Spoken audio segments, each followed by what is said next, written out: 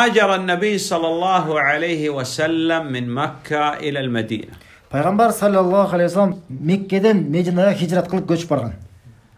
أول ما يصنع الإنسان إذا انتقل من مدينة إلى مدينة ماذا يفكر؟ ең бірінші қашан бір адам бір шаардан екінші шаарға көшіп барған болса ең бірінші эмнени ойлойт ماشي إذا انتقلت من مدينة إلى مدينة أخرى تفكر أول شيء في ماذا؟ мысалы бір шаардан башка шаарга көчүп барсаң эң биринчи эмнени ойлоносуң эмнени ойлоносуң في بيت نعم үйдө үй жөнүндө ойлоносуң أول شيء صنع النبي صلى الله عليه وسلم عندما وصل المدينة بنى بيتا له أو قصر мына пайгамбар саллаллаху алейхи эң биринчи ошо мединага көчүп баргандан кийин өзүнө бир сепил куруп алдыбы же эмне үй куруп алды эмне кылды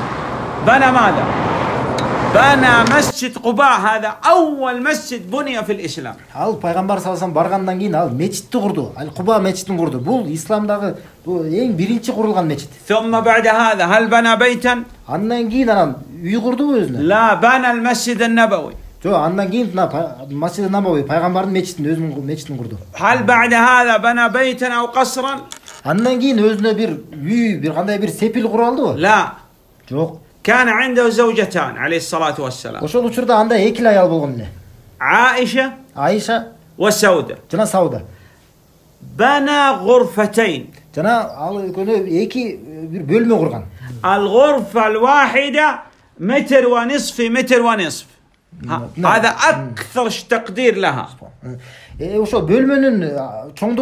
بول تراسنا بير متر؟ мындай кенендигинен да бул тура- туурасынан дагы узундугунан дагы бир жарым метр إذا كانت عائشة رضي الله عنها نائمة في الغرفة لا يستطيع النبي صلى الله عليه وسلم أن يسجد حتى عائشة ترفع رجليها هكذا ويسجد من غ- غرفة من ضيق الغرفة ошол бөлмөнүн ушунчалык тардыгынан пайгамбар саллаллаху алейхи вассалам намаз окуп атканда эгерде айша энебиз жаткан болсо намаз окуй албайт эле сөзсүз түрдө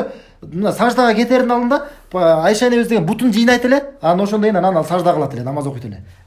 جاءت الفتوحات جاءت الأموال جاءت الغنائم ما تغيرت هذه الغرفة إلى أن مات النبي صلى الله عليه وسلم Э, көптөгөн ан- андан соң согуштар болду алардан жеңиштер болду мал мүлктөр байлыктар келди ошолордун баары болгон болсо дагы эмне үйү өзгөргөн жок Ö- өмүрүнүн аягына чейин бул каза болгонго чейин ошондой эле үй абал кала берди إذا ماذا يريد النبي صلى الله عليه وسلم демек пайгамбар саллаллаху алейхи вассалам эмнени каалаган экен يريد الدنيا дүйнөнү каалаган бекен لا والله жок аллах кант أراد الآخرة عليه الصلاة жок والسلام ал пайгамбар саллаллаху алейхи вассалам ал акыретти каалаган وخير الله سبحانه وتعالى أن يكون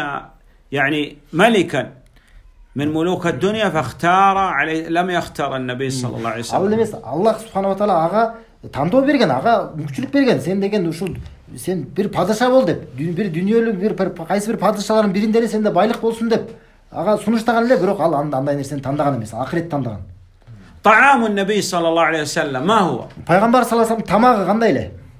ها أين؟ أين نتكلم؟ مشكلة نتكلم هنا. كان الهلال والهلالين والهلال والثلاث أهلة ثلاثة أشهر يمر على بيت النبي صلى الله عليه وسلم لا يوقد في بيت النبي صلى الله عليه وسلم نار يعني ما يوجد طبخ. субханалла نعم. Мына бир ай өтөт эле өтөт эле эки ай өтөт эле үч ай үч ай бою өтүп ошол үйүндө бир да жолу пайгамбар саллаллаху алейхи вассаламдын үйүндө бир да жолу от жагылбайт эле ما شبع آل محمد عليه الصلاة والسلام من أردأ خبز كان عندهم يعني أقل خبز في الس- في القيمة ولا أحد يأكل يعني كثير هؤلاء ما شبعوا منه أهل النبي صلى الله عليه وسلم пайгамбар саллаллаху алейхи вассаламдын үй бүлөсү Мына эң өздөрүнүн ошол убагындагы эң аз мына эң төмөн болгон нан менен дагы эч качан бир тоё жеген эмес эле дейт